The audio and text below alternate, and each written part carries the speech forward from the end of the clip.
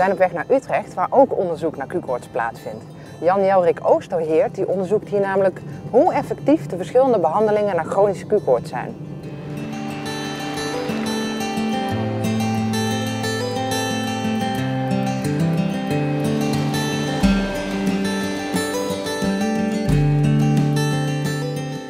Zelf geen chronische Q-koorts, gelukkig maar. Ik ken heel veel mensen die het wel hebben en daarvoor antibiotica slikken. En ik begrijp dat u onderzoek doet naar de beste behandeling voor mensen met chronische Q-koorts.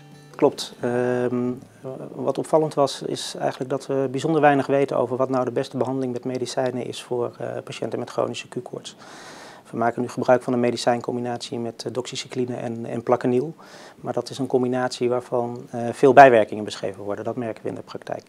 Uh, misselijkheid, braken, problemen met het zien, zonlichtovergevoeligheid. Uh, dus we vroegen ons af, is dat nou wel de beste combinatie voor, voor de mensen met chronische Q-koorts? En, en hoe gaat u dat doen?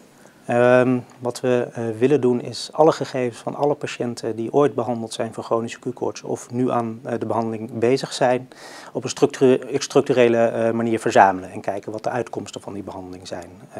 Hoe lang hebben ze in het ziekenhuis gelegen? Hoeveel bijwerkingen hebben ze? Hebben ze complicaties ontwikkeld? Zijn ze overleden misschien? Dus op basis van beschikbare gegevens al? Op basis van beschikbare gegevens, mhm. inderdaad. Daarnaast willen we gebruik maken van, van vragenlijsten om te inventariseren hoeveel last mensen hebben van de medicijncombinatie die nu gebruikt wordt of van andere medicijnen die, die de mensen gebruiken. Um, hoeveel bijwerkingen ervaren ze? Hebben ze daadwerkelijk last van zonlichtovergevoeligheid? Hoe vaak hebben ze de uh, combinatie moeten staken en over moeten stappen op een andere combinatie? Dus daar gaan we gebruik maken van, van vragenlijsten.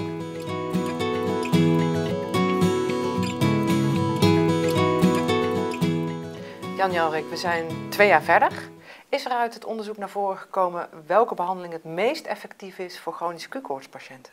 Ja, daar hebben we een antwoord op uh, kunnen formuleren. Uh, het blijkt dat patiënten die met twee soorten antibiotica behandeld worden, het eigenlijk het uh, beste doen. Dus met doxycycline en met plaquenil of met doxycycline en een kinolon, zoals dat heet. En wat betekent dit voor de patiënten die al in behandeling zijn of voor nieuwe patiënten? Nou, voor patiënten die op doxycycline en plaquenil staan, betekent dat niet zoveel. Dat is gewoon een uitstekende therapie. Kun je die therapie niet, niet, verdragen, om wat voor reden dan ook, heb je bijwerkingen, dan is het verstandig om niet over te stappen naar één antibioticum, maar om over te stappen naar die combinatie van doxycycline met een kinolon. Dus dit is eigenlijk een heel helder resultaat? Ja, dat is een heel helder resultaat, die ook denk ik belangrijk is voor patiënten.